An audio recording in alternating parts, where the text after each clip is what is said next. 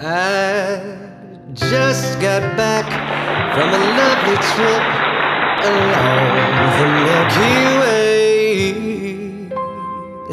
I stopped off at the North Pole to have a holiday. I called on dear old Santa Claus to see what I could see.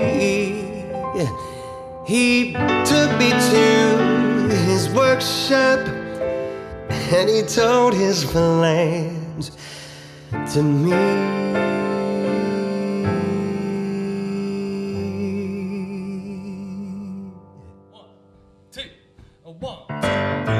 You better watch out, you better not cry,